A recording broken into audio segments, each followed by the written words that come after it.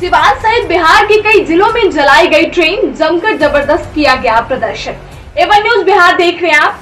सिवान में अग्निपथ योजना को लेकर उग्र प्रदर्शन कर रहे अभ्यर्थियों ने आखिरकार सिवान रेलवे स्टेशन पे खड़ी मालगाड़ी के इंजन को आग के हवाले कर दिया है। सरकार की अग्निपथ योजना को लेकर विरोध प्रदर्शन करने रेलवे स्टेशन पहुँचे तकरीबन 500 से अधिक उपद्रवियों ने पुलिस पे पत्थरबाजी शुरू कर दी। इसके बाद सिवान एसडीओपी जितेंद्र पांडे तथा एसडीओ राम बाबू बैठा समेत भारी संख्या की तादाद में पुलिसकर्मी अब उपद्रवियों को खदेड़ना शुरू कर दिया है। बताते चले कि गुरुवार की अगले सुबह से ही सिवान शहर मुख्यालय के जेपी चौक स्टेशन मोड़ और सिवान रेलवे स्टेशन पे पहुंचकर ट्रैक को पूरी तरह से बाधित कर दिया गया था।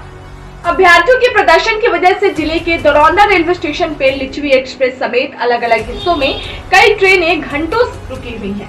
अभ्यर्थियों के रूप में उपद्रव मचा रहे उपद्रवियों को काफ़ी मनाने के बाद भी आखिरकार दोपहर तीन बजे सिवान रेलवे स्टेशन पे खड़ी मालगाड़ी के इंजन को आग के हवाले कर दिया। इसके बाद जीआरपी की मदद से आग बुझाने की कवायद शुरू कर दी गई। हालाँकि इस दौरान रेलवे इंजन के भीतर आग पूरी तरह अपना विकराल रूप धारण कर लिया।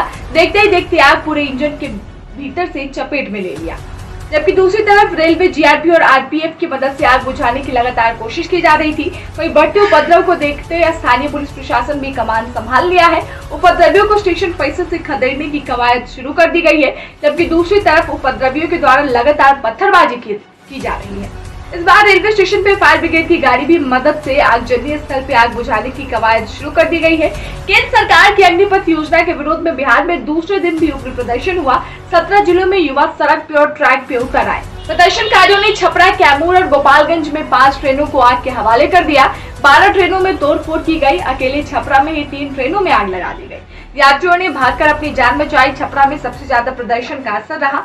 आरा में पुलिस को उपद्रवियों पे काबू पाने के लिए आँसू गैस के गोले दागने पड़े। मोतिहारी में भी ट्रेन भी पथराव किया गया। प्रदर्शन के कारण रेलवे सेवा सुबह छह बज के पच्चीस के बाद ठप हो गई। करीब नौ घंटे तक ट्रेन सेवा ठप रही। साढ़े तीन बजे के बाद सभी रूट क्लियर कराकर ट्रेन शुरू हो गई।